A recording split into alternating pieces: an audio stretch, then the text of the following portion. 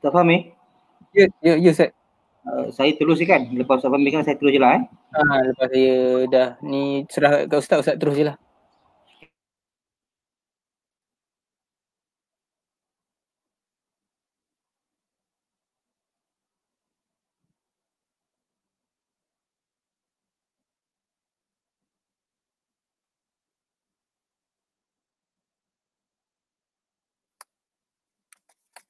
Bismillahirrahmanirrahim. Alhamdulillahirabbil alamin wassalatu wassalamu ala sayyidina Muhammadin asyrafil anbiya'i wal mursalin wa ala alihi wa sahbihi ajma'in. Assalamualaikum warahmatullahi wabarakatuh.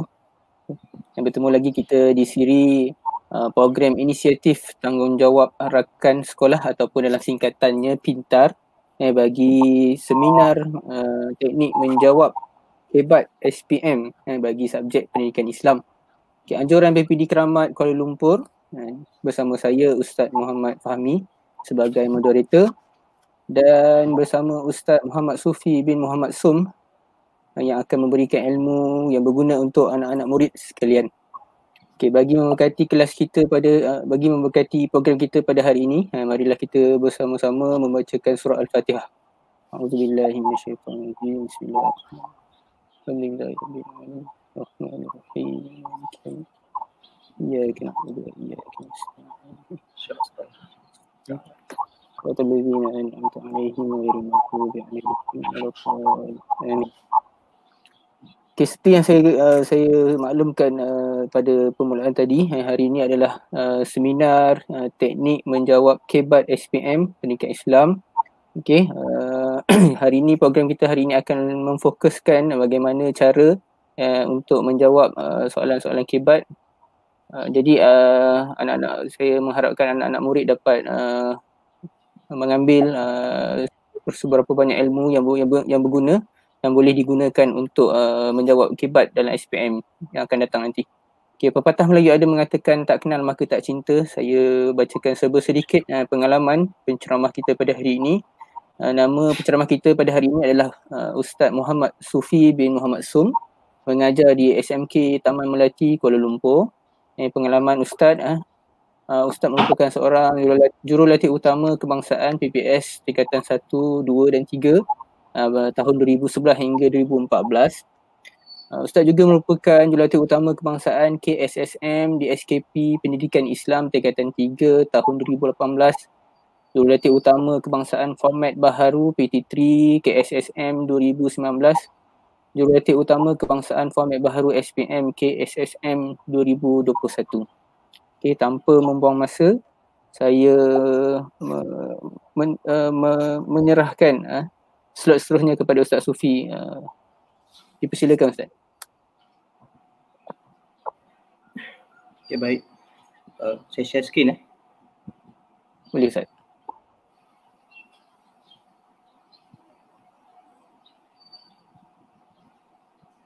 Okay, baik. Uh, Bismillahirrahmanirrahim. Assalamualaikum warahmatullahi wabarakatuh. Alhamdulillahirrahmanirrahim. Wassalatu wassalamu ala asyafi anbiya'i wal mursalin wa ala alihi wa ashabi ajma'in. Rabbi syrah li sadri wa yassir li amri wa hlul 'uqdatam min lisani yafqahu qawli. Subhanaka la ilma lana illa ma 'allamtana innaka antal alimul hakim. Alhamdulillah uh, pertama sekali saya mengucapkan kesyukuran kepada Allah Subhanahu wa taala kerana pagi uh, kerana pada petang ini uh, kita bersama-sama dengan uh, semua calon-calon SPM 2020 pelajar-pelajar ataupun anak-anak yang akan mengambil SPM uh, di mana pada kesempatan ini uh, ustaz ingin berkongsi sedikit uh, ilmu berkaitan dengan seminar teknik menjawab kibat pendidikan Islam SPM. Sebelum itu Ustaz perkenalkan diri Ustaz sebagai Ustaz Muhammad Sufi bin Masum daripada SMK Taman Melati dan Ustaz percaya uh, anak-anak semua sudah pun uh, bersedia sudah pun mengetahui berkaitan dengan teknik pendidikan Islam dan Ustaz pun percaya bahawa uh, pendedahan sudah pun diberi oleh guru-guru di sekolah dan juga uh, jemputan penceramah teknik sebelum ini sama ada secara bersemuka atau online dan sebagainya. Dan Ustaz juga percaya dan berkait, berkaitan dengan uh, soalan kebat sudah pun lama didengar oleh calon-calon semua dan pada kesempatan ini Ustaz ingin lebih detail dengan lebih mendalam berkaitan dengan teknik menjawab kebat dekat Islam SPM dengan cara yang betul insyaAllah. Okey baik, jadi untuk slot hari ini, okey, antara perkara-perkara yang Ustaz akan sentuh ialah berkaitan dengan pengertian kebat, ciri-ciri soalan kebat, contoh soalan kebat, pemagahan kebat, teknik menjawab kebat, uh, kesilapan calon dalam menjawab kebat dan juga kata tugas. Okey. Jadi ustaz tidak akan uh, fokus kepada kertas satu atau kertas dua uh, sebab uh, ustaz percaya sebelum ini sudah ada pun Uh, teknik ini telah dilaksanakan oleh guru berkat Islam sebelum ini. Uh, dua minggu lepas Ustaz difahamkan sudah ada dua orang ustazah telah membincangkan tentang teknik SPM uh, untuk kertas satu dan kertas dua. Jadi pada hari ini Ustaz hanya fokus untuk uh, soalan kebat sebab bagi Ustaz kadang-kadang ini pun penting sebab uh, ianya adalah satu peluang untuk calon mendapat markah sekurang-kurangnya satu markah insyaAllah. Okey jadi kita, uh, kita sebelum kita pergi dengan lebih jauh dengan kebat saya percaya uh, uh, calon uh, semua uh, murid-murid semua uh, dah mendengar apa itu kebat uh, daripada tingkatan satu, tingkatan dua sehinggalah tingkatan lima apa itu kebat. Jadi ke- kebat ini apa dia kebat iaitu kemahiran berfikir aras tinggi. Okey atau dalam bahasa Inggeris dipanggil higher order thinking skill. Jadi sebenarnya apabila kita sebut kemahiran berfikir tu apa iaitu uh, soalan kebat yang dikeluarkan oleh lembaga peperiksaan ingin menguji kemahiran berfikir bukan sahaja kemahiran ilmu ke, ataupun kemahiran pengetahuan yang ada pada anak murid. Jadi selain daripada itu dia ingin mencari dia ingin menguji sejauh mana kemahiran berfikir dalam mengatas mengatasi suatu isu, masalah dan sebagainya. Jadi dia jadi apa itu kebat iaitu proses menggunakan minda untuk membuat keputusan dan menyelesaikan masalah iaitu menggunakan minda akal kita lah iaitu untuk membuat keputusan dan menyelesaikan masalah. Apabila kita hadapi situasi, kadang-kadang kita terpaksa berfikir sama ada secara drastik ataupun tidak, macam mana kita nak selesaikan. So di situlah berlakunya kemahiran berfikir. Dan kenapa soalan kebat itu diperkenalkan? Ada sebab-sebabnya. Kita akan pergi detail. Okey, baik. Kemudian ini uh, ustaz bagi kebat secara umum dulu ya. Nanti kita akan pergi lebih detail tentang soalan kebat dan sebagainya supaya uh, tujuan ustaz hari ini supaya anak murid semua faham apa itu kebat. Bukan hanya setakat kebat itu masuk dalam kelas anda hanya faham isi, uraian, uraian lengkap dan juga kesimpulan. Bukan. Okey, jadi pada hari ini ustaz nak dedah kepada kamu apa itu kebat supaya kamu lebih faham sebenarnya apa kepentingan kebat dan sebab mengapa kebat diperkenalkan dalam silibus pendidikan Islam atau apa-apa mata pelajaran dan saya dan ustaz percaya semua mata pelajaran yang kamu ambil pun diselit dengan unsur-unsur kebat termasuklah subjek pendidikan Islam. Baik, untuk apa itu kebat? Iaitu menurut Tommy ini, kebat melibatkan kemahiran kognitif yang lebih tinggi iaitu kemahiran menganalisis, sintesis, menilai dan menghasilkan idea yang baru bermaksud macam mana kamu boleh analisis sesuatu soalan, boleh menilai, boleh menghasilkan idea yang baru. Sebenarnya apa yang kamu sudah lakukan mungkin kamu sudah buat tapi mungkin kamu tak tahu itulah yang sebenarnya analisis. Itulah yang sebenarnya menilai, itulah yang dikatakan menghasilkan idea yang baru. Okey, jadi kemahiran berfikir aras tinggi kebat ni ialah tujuannya menggalakkan murid berfikir dalam mencari jawapan kepada satu masalah. Bukan hanya setakat menghafal. Dulu kita menghafal. Okey kita hafal pagi petang siang malam dan sebagainya. Kemudian bila bila periksa kita akan jawab apa yang kita hafal itu. Kalaulah kita ingat apa yang kita hafal maka kita boleh jawab. Tapi kalau kita terlupa kalau kita tersalah maka kita dapat jawapan yang uh, dapat uh, apa jawapan yang salah dan ataupun kita tak boleh menjawab jadi sebab itulah kenapa kebat diperkenalkan supaya menggalak murid berfikir untuk menyelesaikan sesuatu masalah dalam soal tersebut. Okey, kedua, proses berfikir memainkan peranan penting dalam menjana proses pemikiran murid dengan cara perbincangan, penyoalan, penyelesaian masalah. Iaitu supaya untuk menjana proses pemikiran ni boleh dilakukan secara berbincang soalan dan juga penyelesaian masalah. Kemudian membantu murid berfikir bagi melahirkan idea-idea yang bernas mengikut jenis soalan. Iaitu tujuan kebat ini supaya murid dapat mengeluarkan idea idea yang baik kadang-kadang idea pada murid tidak terfikir oleh cikgu tidak terfikir oleh guru Jadi kamu berdasarkan pengalaman, berdasarkan pengetahuan, berdasarkan pembacaan, kamu dapat mengeluarkan idea-idea yang benar dalam menjawab so soalan. Yang kedua, menggunakan pendekatan didaktif. Contohnya macam generalisasi secara umum dan strategi penyoalan. Okey, baik. Mengapa perlu mengajar kebat ni? Okey, sebab kebat untuk meningkatkan pencapaian akademik. Okey, sebab kalau dulu-dulu zaman Ustaz ambil SPM dulu dan sebagainya, apabila keluarnya result SPM, didapati golongan perempuan lebih ramai yang lulus dapat grade A berbanding guru lelaki. Okey, di sini kita dapat lihat kenapa lebih ramai orang perempuan dengan lelaki dapat grade A dan lulus. Sebenarnya orang perempuan mempunyai kehebatan yang cukup hebat iaitu dia suka menghafal dan dia mudah menghafal dan mudah ingat. Lelaki ini kadang-kadang kurang sikit menghafal. Adalah juga tapi tak seramai perempuan itu. Dan apabila orang sesiapa yang rajin menghafal, dia boleh menjawab dengan mudah. Dan siapa yang kurang menghafal, dia tak boleh jawab sebab dia tak ingat sepenuhnya apa yang dia hafal.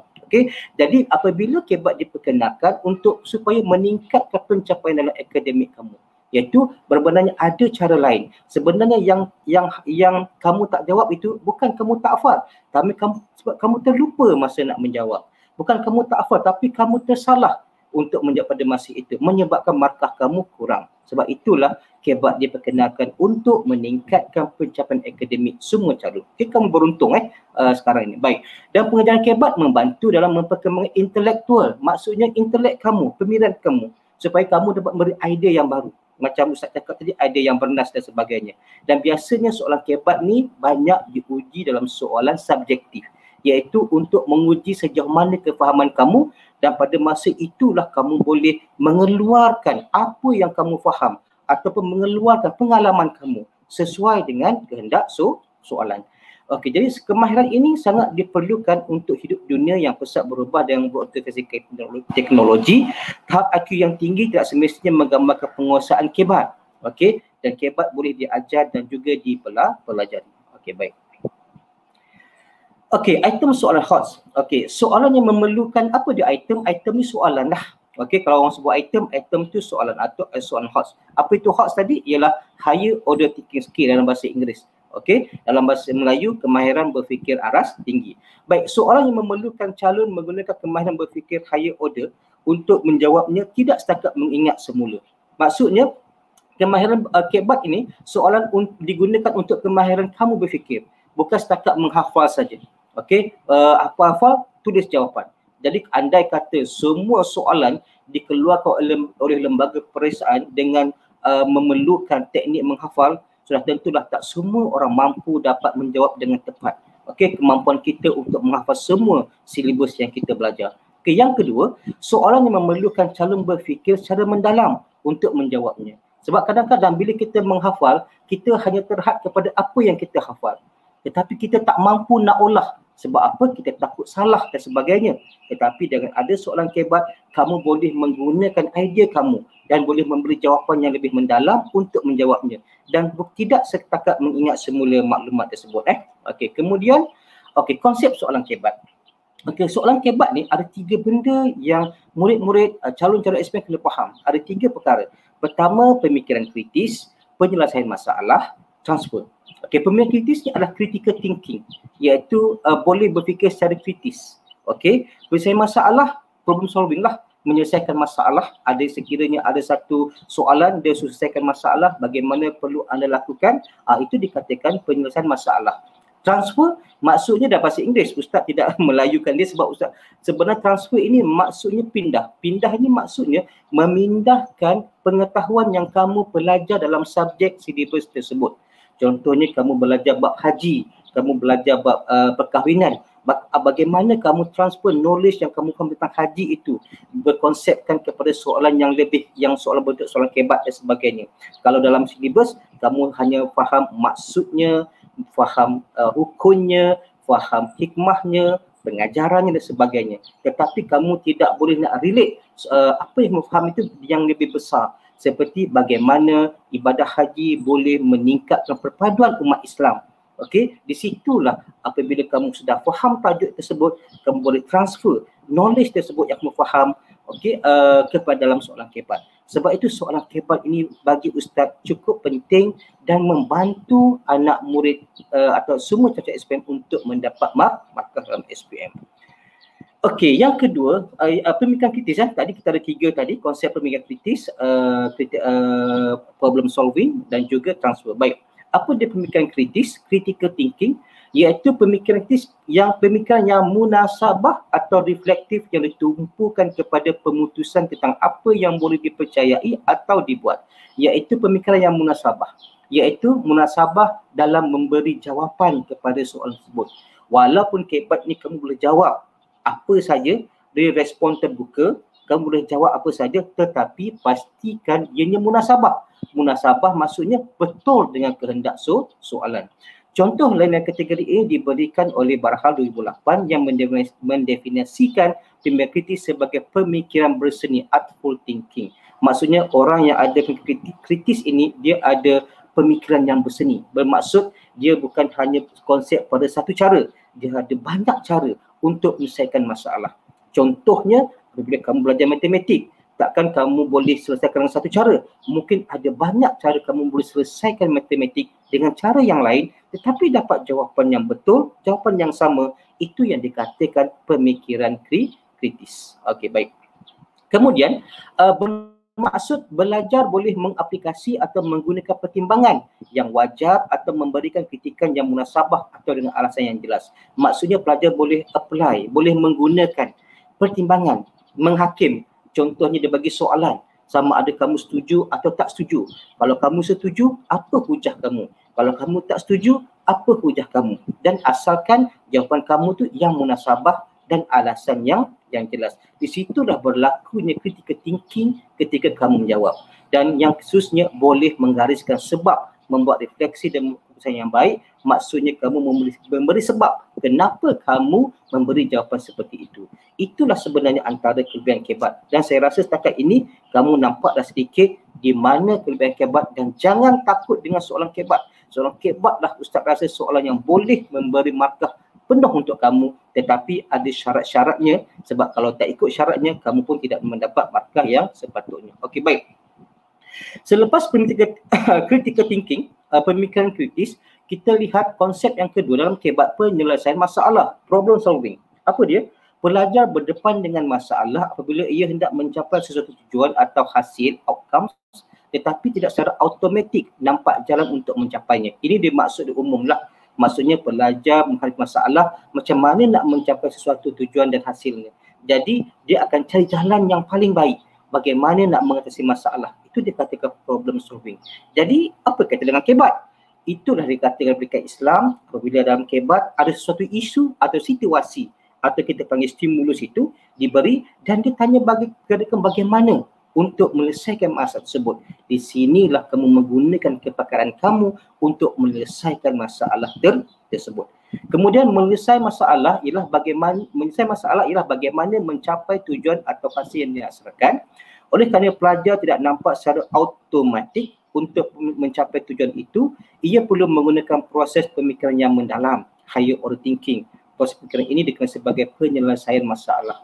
Contohnya, tidak nampak secara jelas masalah tersebut tetapi terpaksa menggunakan proses pemikiran iaitu try and error. Okey, bagaimana nak mengatasi? Contohnya kita dalam hutan, kita sesat. Kita menggunakan alternatif lain untuk mencari jalan keluar. Di situlah kita nampak kita kita menggunakan kemahiran berfikir itu pada masa tersebut. Eh. Kemudian, apabila anda menerokai jalan baru menuju ke tujuan yang dihasilkan, anda perlu mengingat maklumat, belajar dengan pemahaman, secara kritis, menilai idea, merumuskan alternatif yang kreatif dan berkomunikasi secara berkesan suatu model penyelesaian masalah boleh diaplikasi untuk membantu anda belajar sendiri. Maksudnya ialah anda bila ada sesuatu isu yang anda hadapi, di situlah anda ingat balik apakah maklumat ilmu yang anda sudah belajar. Okey, uh, apakah yang kamu yang sudah tahu sebelum ini dan apa yang yang kamu faham? Dan daripada faham itulah selepas kamu tahu, selepas kamu faham, di situlah kamu dapat berfikir secara kritis atau mencari idea untuk menyelesaikan sesuatu masalah. Dalam konteks soalan kebat ialah apabila kamu belajar bab haji tetapi soalan bertanya tentang kebat, bila kamu sudah faham, kamu tahu itu bab haji, kamu faham tentang bab haji keseluruhan dan kamu dapat memberi jawapan yang kritis, yang kreatif kepada soal tersebut, itu dikatakan problem solving. Okay, baik. Kemudian, boleh berfikir dalam konteks penyelesaian masalah. Bermaksud pelajar boleh menyelesaikan masalah bekerja secara kreatif. Okey, kreatiflah. Okey, secara yang pelbagai, yang yang yang boleh bukan hanya satu cara saja. Suatu masalah ialah satu tujuan yang tidak boleh dicapai dengan penyelesaian yang diingat. Okey, maksudnya kalau kita ingat saja tak boleh kita selesaikan. Okey, kita cuma ingat ayat hafazan. Tetapi bila ditanya maksudnya, dia tanya rumusannya, pengajarannya, kita tak boleh nak huraikan. Sebab kita tak boleh ingat saja. Kita kena faham keseluruhan barulah kita boleh menyelesaikan soalan tersebut. Orang menyelesaikan masalah dengan pelbagai cara bergantung kepada nilai dan anggapan yang berkaitan dengan tugasan. Maksudnya inilah cara menyelesaikan masalah dengan pelbagai cara bergantung kepada nilai dan anggapan yang berkaitan dengan tugasan. Eh? Baik, itu yang kedua. Yang ketiga, tidak.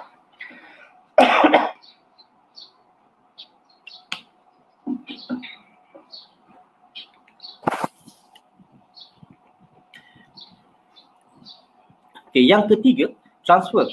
Transfer ni macam tak cakap tadi lah, pindah.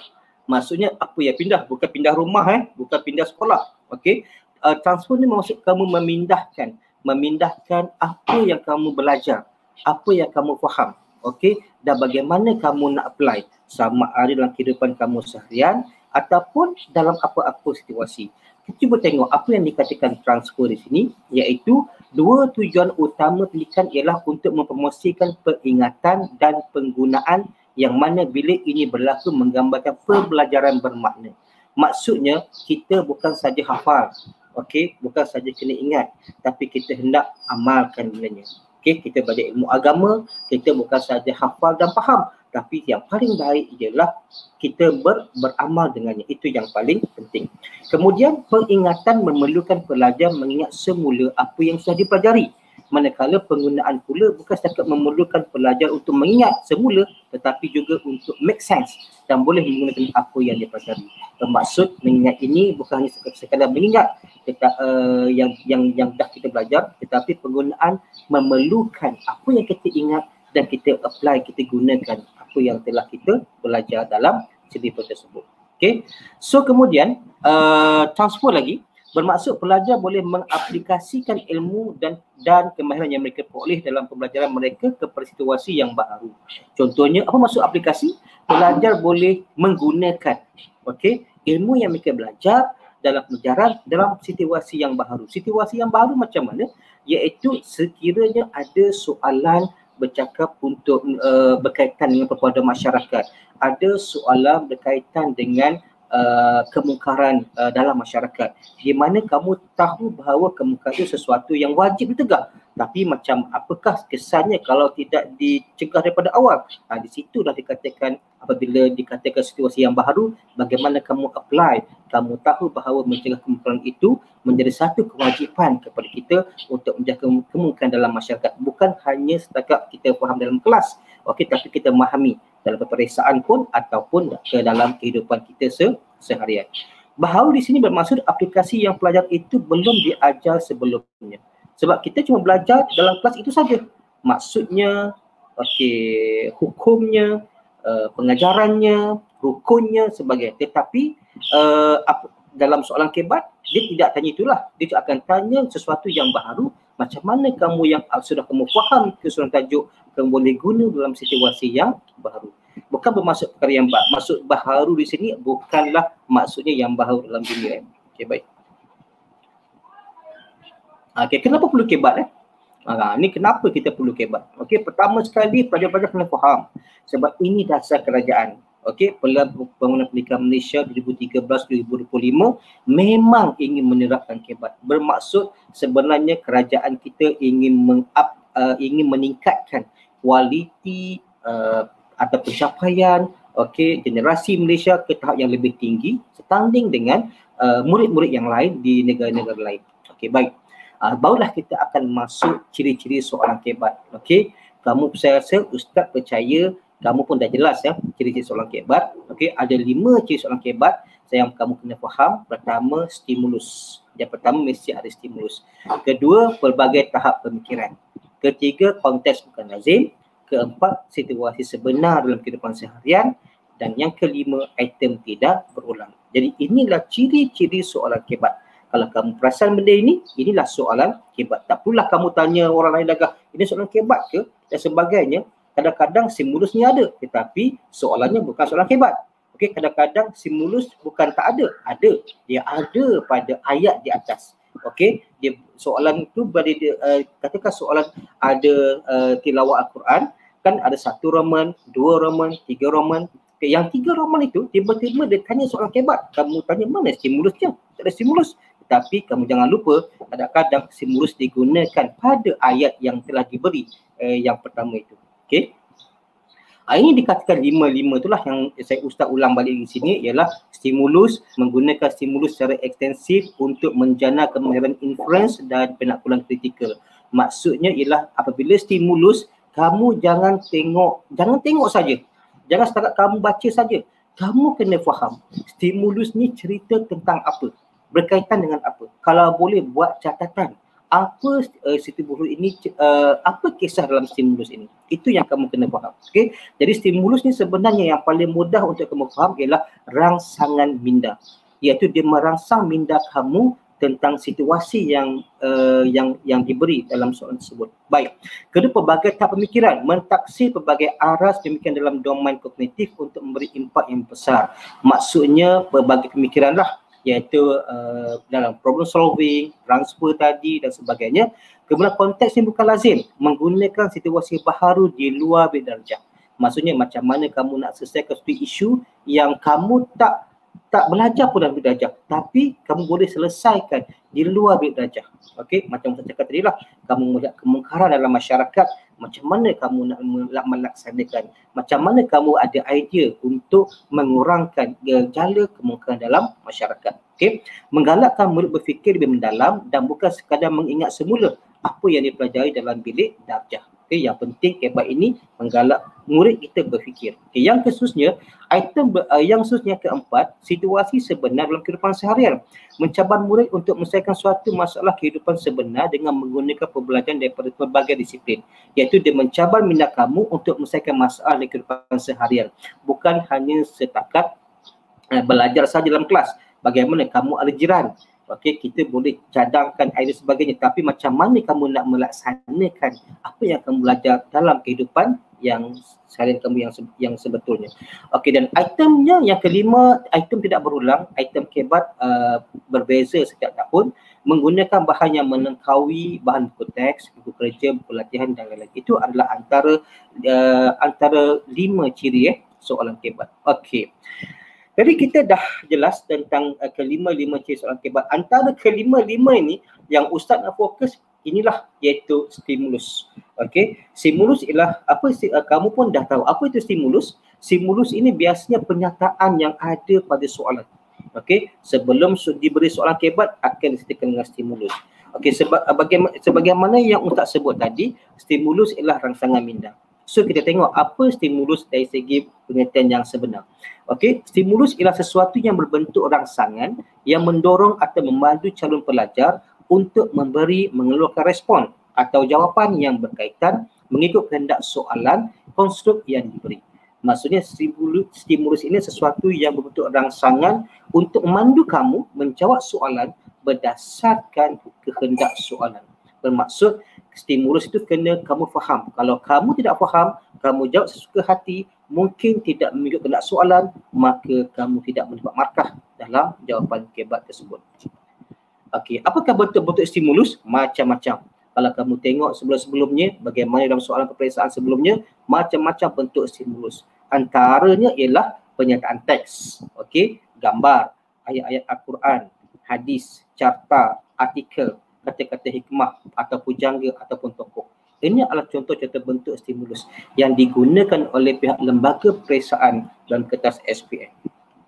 Okey, ini contoh stimulus penyataan teks. Okey, contohnya hospital mesra ibadah merupakan satu konsep baharu yang memberikan perkhidmatan terbaik dan profesional dal- dalam memberi keselesaan kepada pesakit untuk melakukan ibadah. Ini stimulus. Soalan belum ada lagi ya.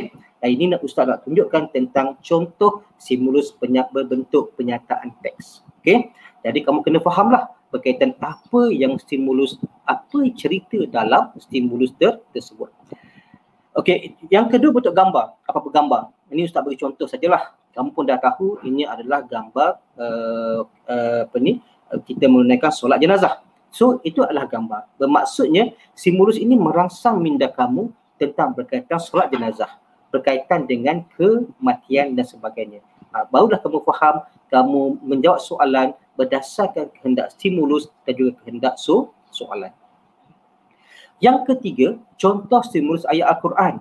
Kadang-kadang lembaga, uh, uh, pihak lembaga periksaan menggunakan ayat Al-Quran.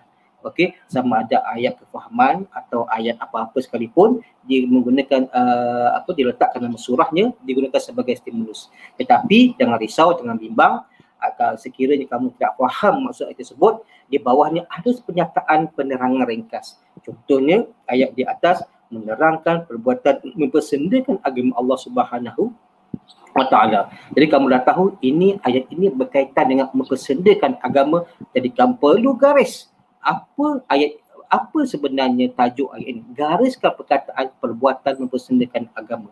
Jadi di situ kamu dah terpandu oh ayat ini dan jawapan kamu berkaitan dengan perbuatan mempersendakan agama. Okey hadis. Okey, contohnya teks hadis. Okey, jangan risau teks hadis. Tapi kadang-kadang uh, ada juga uh, uh, apa ni uh, teks hadis diberi disertakan dengan maksudnya. Kamu kena bila ada maksudnya mudahlah untuk kamu. Yang penting kamu faham maksudnya. Okey. So hadis di atas menjelaskan tentang tentang prihatin kepada makanan yang mengikut syarak. Jadi kamu dah faham. Kalau kamu tengok tersebut, apa yang perlu kamu highlight di sini ialah tuntutan prihatin kepada makanan mengikut syarak. Makanan yang baik. Okey, halal, thayyibah. Itu yang kamu fokus. Okey, itu dimaksud stimulus itu berkaitan dengan makanan yang baik. Okey, berbentuk carta. Saya rasa Ustaz ini macam piramid eh. Okey, piramid uh, kalau kamu tengok ini adalah pemakanan sama ada bentuk graf ke, piramid ke dan sebagainya. Di sini kamu tengok bermaksud stimulus ini menceritakan tentang makanan. Mungkin di sini uh, yang kita faham ialah ini adalah selalu kita nampak eh, di tempat kesihatan, klinik, hospital, pusat kesihatan menunjukkan gambar seperti ini. Dan bila kita nampak je, kita akan fikir ini adalah satu yang baik, satu yang positif. Di mana dianalisis oleh pakar-pakar mengatakan inilah pemakanan yang baik, yang seimbang untuk kesihatan kita. So kita nampak So stimulus ini berkaitan dengan pemakanan yang baik. Mungkin ada ada apa, ada hubungan dengan tajuk yang kita belajar. Contoh dalam hadis tersebut tadi eh. Okey, kemudian berbentuk artikel ataupun petikan berita. Okey, contohnya Geneva iaitu Pertubuhan Kesihatan Sedunia WHO menegaskan bahawa keadaan pandemik COVID-19, COVID-19 semakin buruk di seluruh dunia sekaligus memberi amaran supaya tiada negara cepat puas hati dengan pencapaian mengekang penularan virus itu ketika ini. Okay, so semua itu ada bentuk artikel dan di bawahnya kamu akan lihat sumber berita halang online. Uh, jadi kalau lembaga keluarkan uh, petikan uh, stimulus bentuk artikel bukanlah lembaga cipta ayat sendiri ya sebab lembaga presiden akan akan berdasarkan sumber uh, artikel yang sah yang sahih sama ada BH online ke utusan ke metro ke dan sebagainya. Jadi di sinilah digunakan untuk uh, sebagai stimulus okey untuk merangsang minda kamu tentang soalan yang akan ditanya nanti. Jadi kamu kena ingat eh setakat ini yang ustaz tunjuk hanyalah stimulus tapi belum ada lagi soalan okey. Uh, satu lagi kata-kata hikmah okey? Ini SPM tahun 2019 okey? Keluar dalam kertas dua eh. Dia kata ilmu tanpa amal umpama pokok tanpa buah. Okey, jadi kata-kata hikmah ini mempunyai kaitan dengan proses mendapatkan hidayah Allah Subhanahu Wa Taala. Okey, itu Ustaz katakan contoh stimulus yang boleh digunakan dalam pelbagai bentuk. Supaya kamu tidak terkejut apabila SPM nanti kamu tengok ada stimulus yang berbentuk graf dan sebagainya. Jangan risau, jangan takut. Okey, faham stimulus dan yang kedua faham kehendak so soalan. Okey. Uh, barulah kita akan tengok secara sedikit apa yang dikatakan contoh-contoh soalan. Okey, baik. Jadi kesimpulan yang tadi ialah apa yang Ustaz ingin terangkan di sini ialah uh, stimulus itu okey ia, ia merupakan satu rangsangan minda supaya kamu faham uh, berkaitan dengan apa jadi uh, stimulus itu kamu kena faham sebab kamu boleh gunakan apa yang kamu faham itu dalam jawapan kamu supaya jawapan kamu tidak lari daripada pemarkahan yang sebenar. Okey. Contoh soalan kebat. Okey, ini contoh soalan eh. Okey, Ustaz ambil soalan yang tadi yang tentang hospital musa ibadah. Ustaz rasa ini juga soalan SPM yang keluar pada tahun 2015 kita satu. Okey. Okay, kita baca stimulus dia. Okey, hospital mesra ibadah merupakan satu konsep baharu yang memberikan perkhidmatan terbaik dan profesional dalam memberi keselesaan kepada pesakit untuk melakukan ibadah. Jadi yang paling penting pada ketika ini, kamu kena faham stimulusnya berkaitan dengan apa. Sudah tentulah kamu faham yang uh, berkaitan dengan hospital mesra ibadah. Okey, dan dikatakan satu konsep baru. Okey, dan perlu diperkenalkan kepada pesakit. Jadi kamu nampak di sini bahawa betapa pentingnya hospital mesra ibadah ini diperkenalkan supaya memberi kemudahan kepada pesakit untuk melaksanakan ibadah ketika mereka sakit ataupun terlantar di hospital. Itu adalah stimulus. Okey, jadi itu stimulus ya. Soalan tak lagi. Soalan di mana? Di bawah itu baru soalan. Okey. Pada pendapat anda, bagaimanakah konsep ini dapat dilaksanakan oleh pihak pengurusan hospital? Itu baru soalan. Iaitu pada pendapat anda, bagaimanakah konsep ini dapat dilaksanakan oleh pihak pengurusan hospital? Maksudnya, bagaimanakah konsep ini boleh dilakukan oleh pihak pengurusan hospital dan huraikan. Maksudnya huraikan, maksudnya kamu kena huraikan. Dan satu lagi Ustaz nak maklum pada kamu, uh, keseluruhan soalan kebat akan disertakan dalam kata tugas huraikan. Kenapa huraikan? Bermaksud kamu kena jelas, kena memberi respon dengan lebih mendalam, dengan lebih terperinci. Okey, nanti kita akan pergi sedikit demi sedikit. So Ustaz dah tagging kat situ di mana stimulus soalan markahnya adalah empat markah. Tentang markah soalan kebat setakat ini empat markah. Okey, setakat inilah.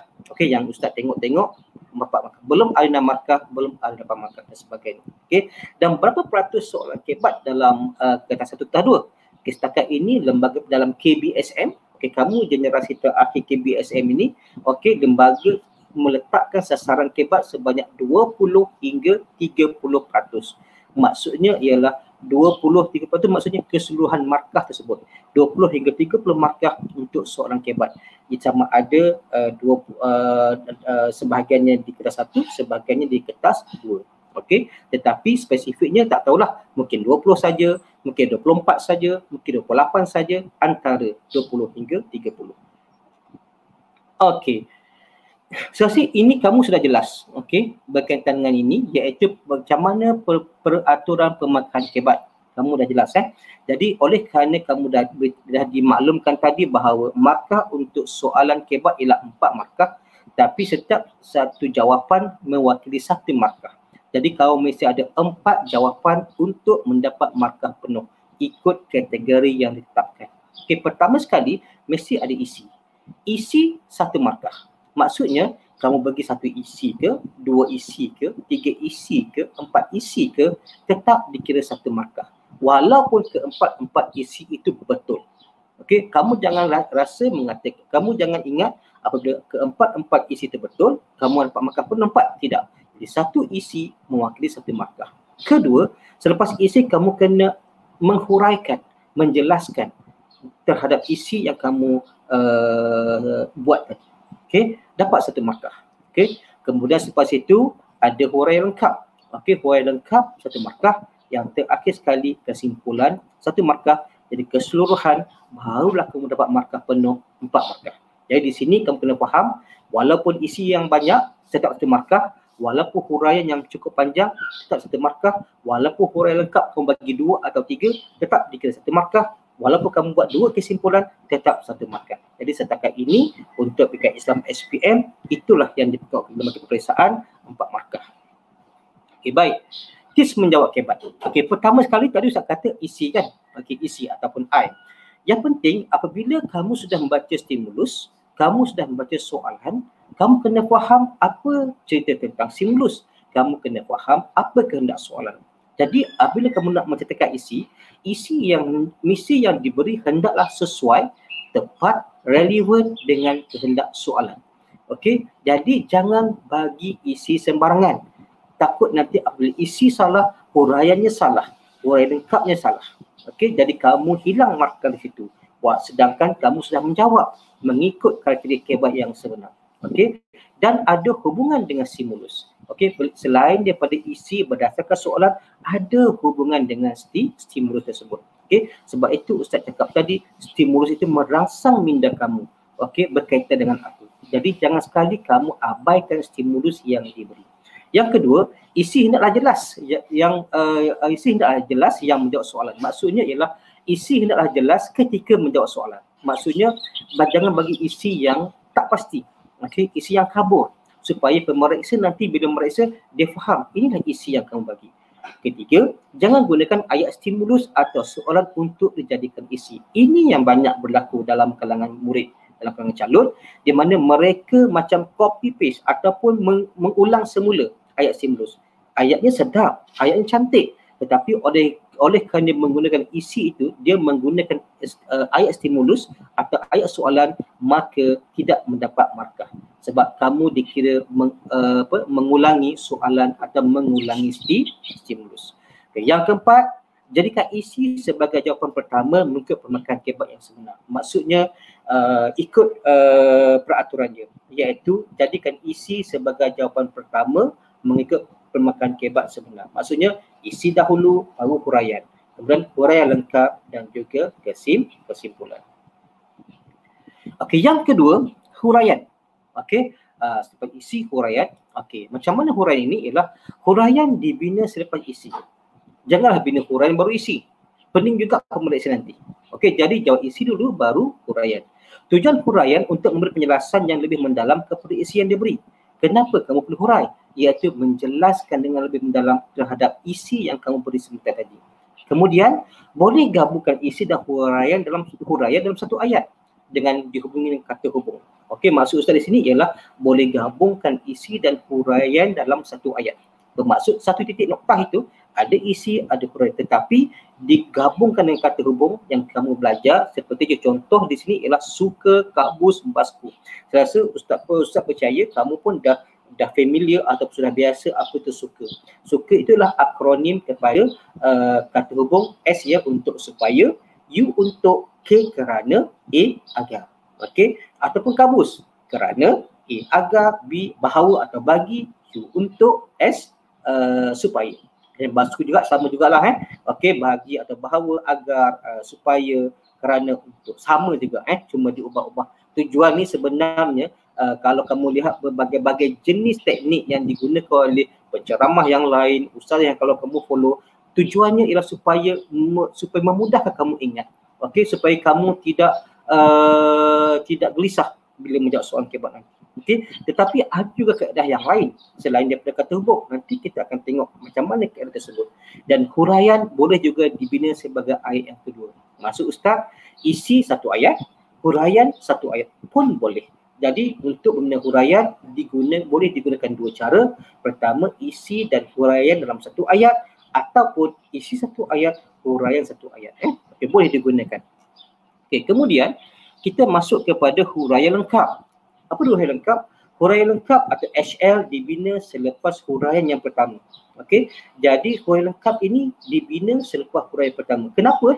Kenapa tak huraian lengkap belum? Okey, jadi huraian lengkap perlu lebih detail atau terperinci berbanding dengan huraian pertama. Maksudnya huraian lengkap dia perlu lebih mendalam. Dia perlu lebih detail, lebih terperinci berbanding dengan huraian yang pertama. Okey, mungkin huraian pertama itu berbentuk lebih umum tapi huraian lengkap yang detail. Tapi kalau kamu bagi huraian lengkap itu lebih kurang sama juga dengan huraian tadi, takut nanti kamu akan kehilangan markah untuk huraian lengkap ini. Okey.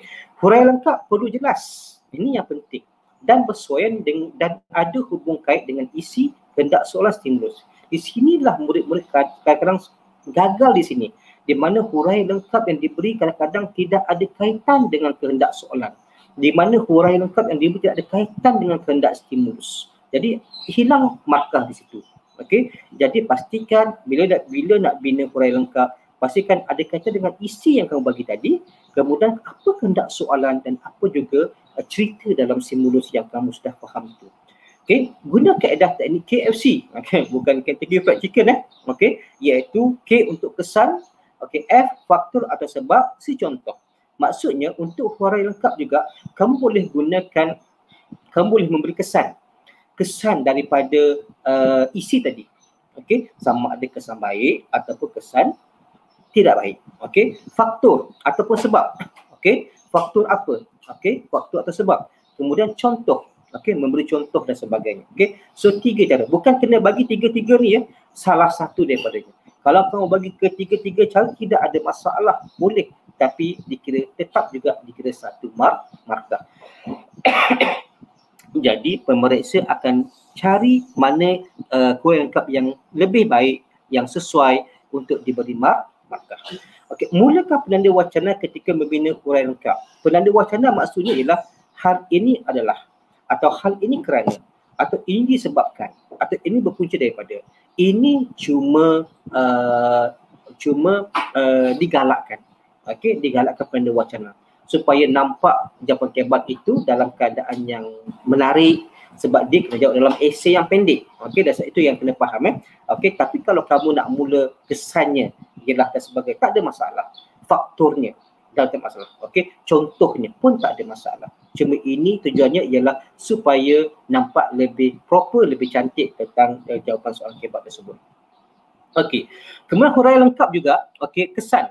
Kesan ini menunjukkan kesan positif atau negatif ataupun akibat ataupun impak. Jadi kesan ni menunjukkan kesan sama ada kamu perlu bagi kesan yang positif atau negatif. Bergantung kepada isi yang kamu beri atau kehendak soalan ataupun akibat okey dan sebagainya okey faktor pula menunjukkan punca berlaku sesuatu sama ada positif atau berlaku boleh dikatakan faktor ini dikatakan punca okey punca penyebab berlakunya uh, gejala uh, vandalism dan sebagainya. Okey apakah puncanya dan sebagainya? Uh, yang kedua sebab iaitu lebih hampir sama juga dengan faktor sebab menunjukkan mengakibatkan sesuatu sama ada baik atau buruk. Iaitu apakah akibat daripada yang kamu jelaskan dijelaskan itu yang kamu telah bagi isi dan huraian yang kamu bagilah akibatnya sama ada akibat terbaik atau buruk. Yang seterusnya contoh menunjukkan bukti kepada sesuatu. Boleh bagi contoh. Okey tak ada masalah contoh tapi contoh hendaklah tepat dan jelas. Yang boleh nampak atau diukur berdasarkan isi yang diberi. Okey contoh maksudnya ialah kamu boleh bagi sumber-sumber yang sah yang jelas yang yang nyata. Okey uh, dan sebagainya. Okey bermaksud bukanlah sekadar memberi uh, katakan contohnya uh, bil uh, secara umum dan sebagainya. Uh, takut dia akan mempengaruhi markah soalan kebat kamu.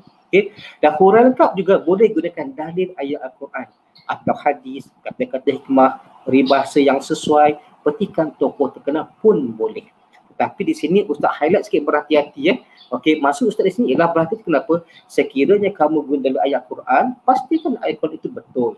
Okey dan sebagainya. Betul kita guna terjemahan ayat Quran pun boleh dan sebagainya. Tetapi pastikan terjemahannya betul. Jangan suka-suka hati buat terjemahan sebab nanti pemeriksa tahu okey sama ada kamu uh, mengada-adakan ataupun membuat terjemahan sendiri dan sebagainya.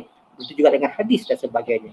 Okey, kemudian kata-kata hikmah pun boleh. Kata-kata hikmah pun adalah kata-kata yang biasa kita dengar, yang sesuai kita dengar, sesuai dengan uh, kepada isi dan sebagainya. Peribahasa pun boleh digunakan dan petikan tokoh terkenal pun boleh. Ini dikatakan yang boleh kita nampak, yang boleh kita ukur iaitu andai kata kita menggunakan contoh pada huraian lengkap. Okey eh? Okey, kemudian lah, akhir sekali ialah kesimpulan. Okey, tis menjawab kebat uh, kesimpulan. Jadi kesimpulan adalah markah yang terakhir untuk mendapatkan empat markah. Okey. Jadi kesimpulan adalah rumusan pada sesuatu esei jawapan. Okey. Jadi kesimpulan menunjukkan rumusan secara umum tetapi relevan sesuai dengan kehendak soalan. Jadi bila kamu nak menyimpul soalan tersebut, kamu hendak membuat rumusan. Okey, rumusan ini satu kelebihan boleh dibuat secara umum tetapi pas mesti relevan ataupun sesuai dengan kehendak soalan. Walaupun dikata umum tetapi bukan sebarang rumusan kamu boleh buat. Takut nanti dia tersasar daripada uh, isi yang kamu beri isi yang kamu beri tersasar daripada kehendak soalan dan sebagainya. Okey? Yang gunakan kaedah PEH ya seperti menjawab soalan pengajian ayat. Maksud di sini adalah uh, rumusan yang paling baik adalah gunakan kaedah P. Saya, saya rasa, Ustaz rasa kamu pun sudah dijelaskan apa itu P. P ialah uh, pendahuluan, I, E, C, H, huraian. Okey, sebagaimana kamu menggunakan teknik ini pada soalan pengajaran ayat, oleh itu apa ni kita hendaklah ada pendahuluan. Okey, ada isi dan ada huraian. Okey, sebab baik guna kaedah ini. Okey, contoh uh, contoh kesimpulan. Okey, oleh itu Okey, apa dia? Kita hendaklah. Kesimpulannya, apa dia? Tuntasnya dan sebagainya. Ini antara contoh kesimpulan yang boleh kamu guna pakai. Okey, contoh yang Ustaz bagi di sini lah. Oleh itu, kita hendaklah sentiasa beristiqamah. Maaf, uh, kesilapan itu. Beristiqamah dalam melakukan ibadah sunat supaya menjadi hamba yang amat dikasihi oleh Allah SWT. Okey, uh, kita hendaklah itu pendahuluan sentiasa beristiqamah dalam melakukan ibadah sunat itu adalah isi uh, ada kata hubung okey supaya menjadi hamba yang amat dikasihi oleh Allah Subhanahu Wa Taala. Contoh yang kedua, kesimpulannya, tidakkah undang-undang yang ketat dapat mengurangkan gejala vandalisme di taman-taman rekreasi?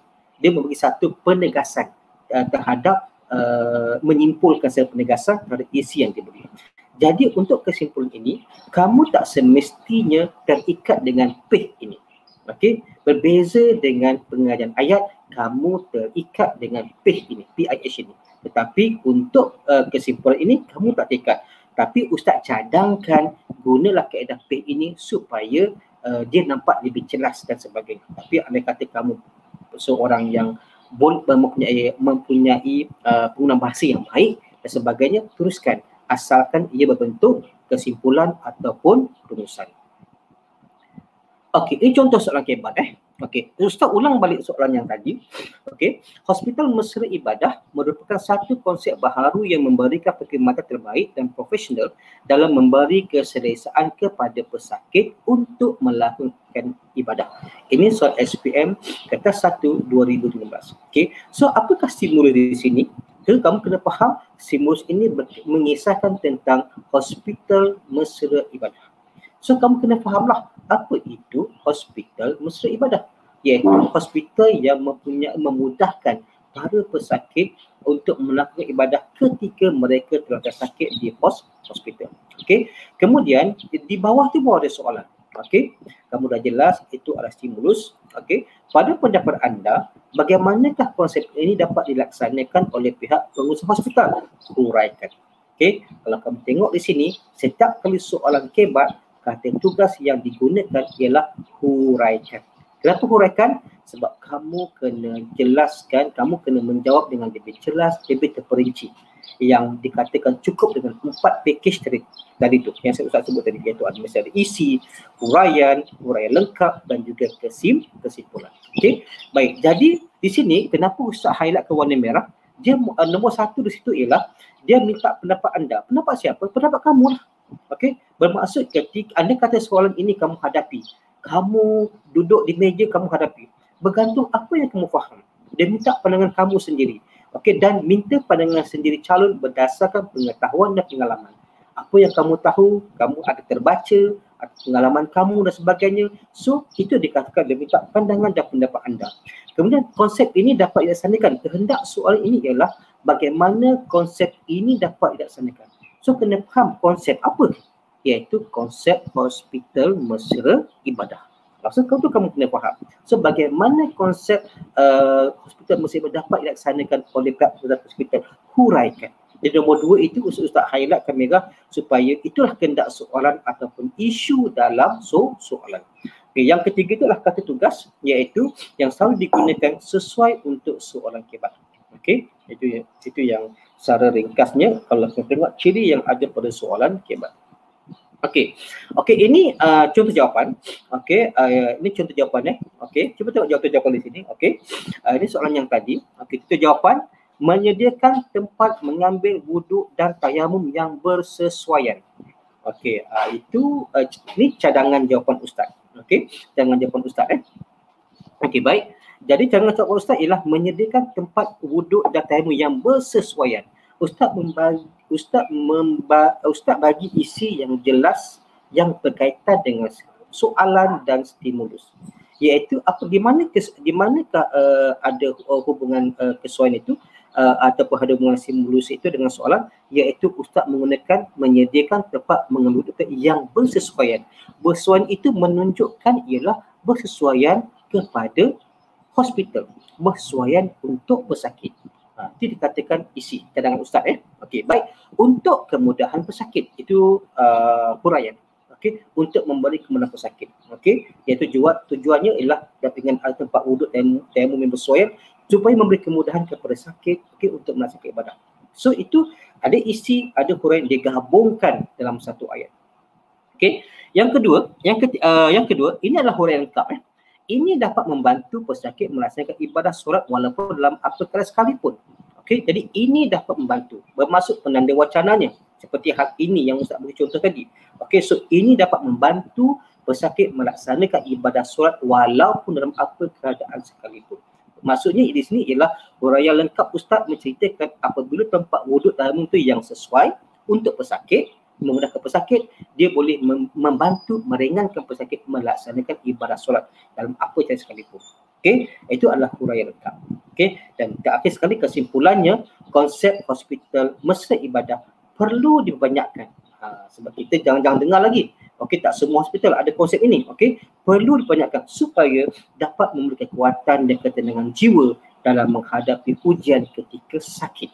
Maksudnya kita jelaskan lagi bukan setakat kekuatan ketenangan jiwa saja. Kalau kita berhenti, kita habiskan ayat terhadap kekuatan dan ketenangan jiwa, dia macam umum. Okey, tapi kita menjelaskan lagi jiwa apa, kekuatan apa, iaitu ketenangan jiwa dalam menghadapi ujian ketika sakit. Siapa yang sakit? Pesakitlah yang terlantar di hospital. Sebab kadang-kadang pesakit ini ingin bertaubat ataupun ingin mengerjakan ibadah kepada Allah ketika mereka sakit. Tapi kadang-kadang mereka tidak mampu. Mungkin hendak ke surau jauh dan sebagainya. Jadi dengan adanya kemudahan seperti ini, hospital masa ibadah memudahkan pesakit melaksanakan ibadah ketika mereka sakit mengikut kemampuan mereka.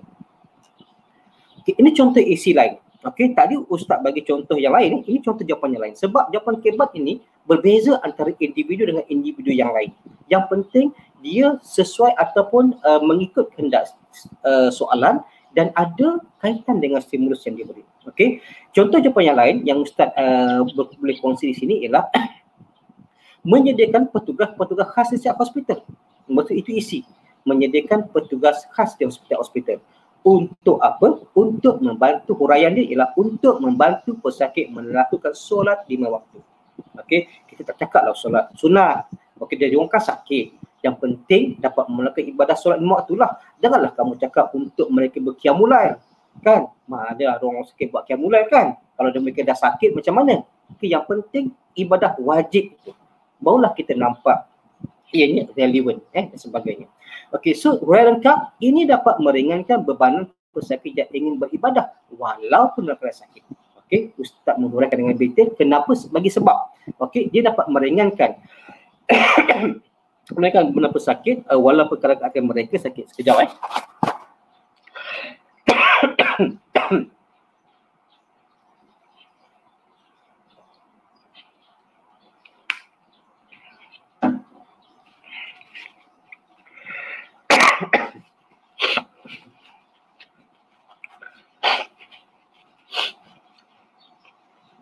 Okey, minta maaf eh. Ustaz terbatuk sikit. Okey. Baik, uh, yang itu ada huraian lengkap. Okey, yang meringankan beban pesakit yang ingin beribadah. Maksud huraian lengkap Ustaz ini ada hubungan dengan isi yang Ustaz bagi iaitu menyediakan petugas itu tujuan dia untuk meringankan beban pesakit yang ingin beribadah ketika mereka sakit. Dan kesimpulan oleh itu hospital masa ibadah ini perlu diperluaskan ke negara cadangan eh kerana ianya amat bermanfaat untuk umat Islam. So itu rumusan untuk cadangan. Okey dan sebagainya. So ini adalah kepelbagaian jawapan kebat yang kamu boleh jawab dan kamu boleh skor empat markah setiap kali. Andai kata lembaga memperuntukkan 20 hingga 30 katakan yang ustaz kira setakat ini sebanyak 24 markah. Oleh kata ke empat ke semua kamu jawab itu betul 24 markah sudah kamu kuasai. Okey untuk dekat Islam. Okey baik. Okey. Kemudian contoh cara isi yang lain menyediakan tangan video melalui skrin layar TV maksudnya uh, di bilik-bilik pesakit tersebut ada tayangan uh, skrin layar TV untuk memberi panduan kepada pesakit.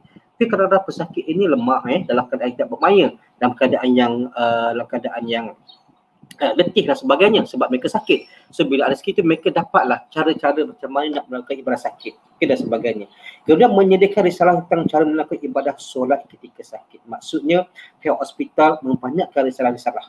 Okey, sebagai bahan bacaan kepada pesakit macam mana nak uh, menunaikan uh, melakukan ibadah solat ketika, ketika sakit. So ini adalah cara atau cara uh, yang cadangan isi bagi ustaz untuk mewujudkan hospital mesra ibadah. Okey, kesilapan calon.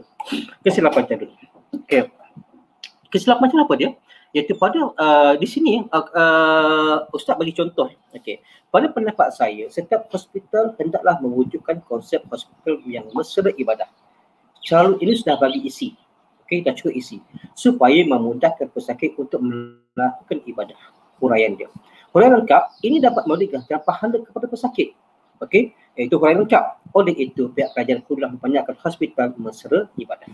Okey, kalau dari segi jawapan yang di sini, okey, ini contoh jawapan kepada anak murid ustaz eh yang jawab ustaz baik semula di mana ustaz dapat bagi satu markah saja daripada empat markah. Kenapa satu markah? Sedangkan calon ini sudah memenuhi kriteria uh, kebat itu ada isinya, ada huraian, ada huraian lengkap, ada kesimpulan. Okay. Kita lihat kenapa yang pertama itu salah, yang warna purple itu. Pada pendapat saya, setiap hospital hendaklah mewujudkan konsep yang masa ibadah. Kenapa Ustaz bagi salah? Kalau baca ayat memang betul, tak salah. Tetapi ini dianggap dia mengulang soalan atau mengulang stimulus. Maka bila ulang stimulus, walaupun ayat yang sedap dibaca, kita tidak bagi markah. Kita hendak calon atau pelajar menjana idea atau jawapan mereka sendiri. Kemudian, supaya memudahkan pesakit untuk melakukan ibadah iaitu supaya memudahkan pesakit untuk melakukan ibadah. Bolehlah Ustaz bagi markah sebagai uraian. Okey. Ini dapat memberi ganjaran pahala kepada pesakit. Di sini Ustaz bagi salah. Kenapa ya? Itu kan kesan. Itu kan kesan sebab bila dia buat ibadah tu dia dapat pahala. Sebab dia dapat memberi ganjaran pahala kepada pesakit adalah bersifat umum sedangkan kita bercakap tentang hospital mesra ibadah. Okey, setakat memberi, setakat memberi ganjaran pahala kepada sakit, apa-apa amal ibadah pun yang kita lakukan mendapat apa? pahala. Jadi huraian lengkapnya tidak je, jelas. Okey. Dan yang terakhir kesimpulan, oleh itu pihak kerajaan perlulah memperanjakan hospital mesra ibadah. Maksudnya di sini, kenapa Ustaz bagi salah? Sebab dia mengulang balik stimulus soalan dan sebagainya. Walaupun dia boleh memberi kesimpulan yang lengkap, tetapi kita tidak kira markah. Jadi calon ini Ustaz bagi satu markah daripada keseluruhan. Dan inilah yang akan merugikan calon. Eh. Sedangkan uh, kamu dah jawab, mungkin sayang tidak mendapat markah penuh. Okey. Yang kedua, contoh soalan kebat yang kita tadi yang tentang uh, piramid makan ini. Okey. Itu kamu dah faham gambar itu adalah stimulus tapi di bawah tu soalan. Okey, berdasarkan gambar di atas, bagaimanakah cara pengambilan pemakanan tersebut dapat membantu kita beribadah dengan sempurna? Huraikan. Okey, ha, jadi empat markah. Jadi berdasarkan gambar, mana gambar apa eh? Gambar piramid itu, bagaimanakah cara pengambilan pemakanan tersebut? Tersebut tu kembali kepada gambar. Okey, kepada piramid makanan. Boleh membantu kita beribadah dengan sempurna. Jadi di sini kamu dah jelas stimulus berkaitan dengan piramid makanan dan soalan dia tanya bagaimana kalau kita beramal atau kita mengamalkan pemakanan yang sihat seperti ini boleh membantu kita beribadah dengan sempurna. Okey, ada ke hubungan piramid makanan yang sempurna? So kita lihat jawapan eh. Okey, contoh jawapan yang pertama dapat memberi tenaga fizikal yang cukup kepada tubuh badan sewaktu melakukan ibadah. Maksudnya dari segi isi, Ustaz kongsi di sini ialah dapat memberi tenaga fizikal yang cukup kepada tubuh badan. Sebab kita mengambil pemakanan yang sihat. Okey. Dan huraian dia sewaktu melakukan ibadah. Okey. Jadi dengan dengan uh, fizikal yang sihat, kita dapat uh, tenaga ketika melakukan ibadah. Kesannya suara itu akan lebih khusyuk ketika melakukan ibadah wajib, malah dapat beristiqamah dalam ibadah sunat. Okey, maksudnya dia fit, dia cergas. Maksudnya bila ibadah mereka melakukan, mereka boleh buat ibadah uh, khusyuk melakukan ibadah wajib. Okey, uh, mereka boleh fokus dan sebagainya dan malah dapat beristiqamah dalam melakukan ibadah su sunat. Maksudnya uh, bukan sahaja ibadah wajib mereka boleh khusyuk tetapi mereka juga boleh melakukan memperbanyakkan ibadah sunat okay, pada malam, waktu malam hari dan sebagainya, siang dan sebagainya. Okay. Kesimpulannya, Islam amat menganjurkan kita mengambil makanan yang sihat dan seimbang supaya menjadi insan yang lebih bertakwa kepada Allah Subhanahu Wa. Jadi kesimpulannya di sini Ustaz tulis Islam amat menganjurkan kita mengambil makanan yang halal dan thayyibah. Okey, yang seimbang supaya menjadi insan yang lebih bertakwa kepada Allah. Kenapa Ustaz kaitkan bertakwa kepada Allah? Sebab tadi soalan soalan tadi dia, dia bertanya berkaitan dengan bagaimana uh, pengambilan pemakanan tersebut boleh melakukan ibadah yang sempurna. Apabila kita dah melakukan ibadah yang sempurna, kita khusyuk dalam ibadah, kita dapat melakukan ibadah solat dengan yang um, dengan baik dan sebagainya, kita akan menjadi insan yang lebih bertakwa kepada Allah Subhanahu Wa Taala. Okey.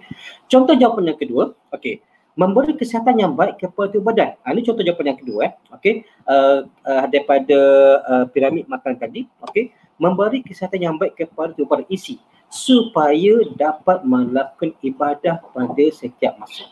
Okay. Kenapa? Bila kita sihat, kita dapat melakukan ibadah. Apa yang diperintahkan oleh Allah setiap masa. Okay. Ini kerana pengambilan makanan yang sihat dapat memberi tenaga yang cukup untuk melakukan ibadah seperti kiamulan. Ini kesan teori lengkap dia. Okey. Ini kerana pengambilan makanan yang sihat tadi dapat tenaga yang cukup untuk melakukan ibadah seperti kiamulan. Bermaksud dia menjaga makanan. Dia mudah untuk bangun malam, kiamulan, bertahajud dan sebagainya. Okey, memudahkan dia melaksanakan ibadah tersebut okey tanpa rasa letih, mengantuk dan sebagainya. Okey, oleh itu kita hendak sentiasa menjaga makanan kita setiap masa supaya sentiasa cergas dan bersedia dalam setiap ibadah. Okey, kadang-kadang itu dikatakan kesimpulan yang Ustaz bagi di sini iaitu apabila kita menjaga makanan, kita sentiasa cergas dan sentiasa bersedia dalam setiap ibadah yang nak kita lakukan. So itu antara contoh jawapan kebat yang boleh Ustaz kongsi dengan uh, uh, uh, calon-calon sebelah pada semua. Ini soalan ustaz eh. Ini pertanyaan ustaz. Mungkin anda mempunyai uh, jawapan yang lain, jawapan yang lebih baik daripada yang sebagainya. Tapi di sini apa yang ustaz ingin kongsi ialah bagaimana ustaz menggunakan isi tersebut uh, dengan huraian dan huraian lengkap kesimpulan iaitu menjurus kepada kriteria soalan kebat dan untuk mendapat markah penuh empat markah tersebut dan tidak lari daripada kehendak. Okay, itu yang ustaz ingin sampaikan. Okay, kesilapan calon di sini ialah apa dia? Okay, contohnya ialah kita hendaklah mengambil makanan yang seimbang supaya dapat melakukan ibadah dengan sempurna. Okey, kita hendaklah mengambil makanan yang seimbang okay, supaya dapat melakukan ibadah yang sempurna, ibadah dengan sempurna. Apabila uh, calon ini menulis kita hendaklah mengambil makanan yang seimbang, ustaz tidak dapat menerima kerana dia tidak menjelaskan apa. Okey, supaya dapat melakukan ibadah dengan sempurna. Ustaz tidak bagi markah sebab huraiannya itu tidak menguatkan pada isinya sebab dia menggunakan huraian yang ada pada so soalan. Kita tengok soalan balik. Okey, contoh soalan ialah bagaimanakah cara pengambilan pemakanan tersebut dapat membantu kita beribadah dengan sempurna huraikan. Okey eh. Okay. Contohnya, mengambil makanan yang ada protein dan karbohidrat. Okey, dia bagi contoh. Contohnya dah betul. Memanglah dalam piramid tersebut ada kandungan makanan yang ada protein yang baik karbohidrat yang baik dan sebagainya. Tetapi kenapa Ustaz tidak terima? Sebab dia bukan bertanyakan tentang kandungan nutrisi pada pemakanan tersebut. Soalan yang dia nak ialah bagaimanakah mengenai yang seimbang dapat membantu kita melaksanakan ibadah dengan sempurna. Walaupun dia menjawab tetapi jawab huraian lengkap contoh yang diberi tidak menepati kehendak so, soalan. Jadi kesimpulannya, makanan yang baik dan seimbang dapat menyiapkan tubuh badan kita setiap masa. Di sinilah uh, biasanya ialah kesimpulannya. Kalau kamu pandai ulah dengan ayat kamu sendiri, kamu tidak uh, ulang soalan, dan ulang stimulus sebagainya, kamu akan dapat satu mark maka. Sebab itu kelebihan kebat ini, kamu jangan takut satu markah tak kamu boleh dapat, kamu boleh uh, genggam satu markah dalam soalan kebat yang bernilai empat markah tersebut. Okay. Baik, so inilah kata tugas dalam soalan kebat. Okey, apa kata tugas dia? Okey, banyak eh. Contohnya bagaimanakah? Okey, bagaimanakah? Jadi respon yang diharapkan ialah memberi penerangan tentang cara atau keadaan atau langkah kejadian. Okey. Uh, tugas yang kedua bincangkan iaitu memberi penerangan pandangan daripada berbagai aspek. okey iaitu bincangkan memberi penerangan atau pandangan daripada aspek. Cadangkan memberi pandangan atau idea yang baru atau pendapat dengan mempertimbangkan perkara positif atau negatif. Ikut kehendak soalan. Okey? Uh, hubung kaitkan membuat sesuatu perkalian berdasarkan beberapa ciri atau faktor. Bermaksud mesti ada perkalian hubung kait ini. Okey berdasarkan uh, stimulus atau dengan soalan ke dan sebagainya itu yang kita kena faham. Huraikan menceritakan sesuatu dengan panjang lebar terperinci ustaz dah jelaskan tadi di mana setiap soalan kebat dia akan menggunakan kata tugas huraikan. Kemukakan iaitu memberi pendapat sama ada menyokong atau tidak okey dan mengapakah memberi sebab itu antara contoh tugas okey dalam soalan kebat okey tiba lihat contoh soalan kebat okey okay, ini adalah berkaitan dengan gambar Okey, biasanya bila gambar diberi akan ada satu penyataan atau cerita. Menceritakan perihal gambar tersebut. Okey, pihak lembaga periksaan tidak akan bagi gambar semata-mata tanpa cerita apabila susah kita nak fahami. Sebab kita faham dalam kata soalan peperiksaan semuanya berwarna hitam putih. Anda kata berwarna mungkin jelas untuk kita nampak. Tapi dengan adanya penerangan ini kita akan nampak dengan jelas apakah cerita dalam gambar tersebut. Okey. So dalam gambar itu pernyataan di bawah mengatakan gambar di atas menunjukkan jemaah haji sedang melaksanakan ibadah sa'i. So kamu faham oh ini adalah gambar ini menceritakan tentang ibadah sa'i. Okey ketika orang melaksanakan uh, fardu haji di Mekah. Okey. So soalan dia hubung kaitkan ibadah tersebut dengan kejadian cemerlang seseorang pelajar kebaikan. Okay. Bermaksud dia, dia suruh hubung kaitkan. Tadi kita nampak eh, apa dia hubung kaitkan.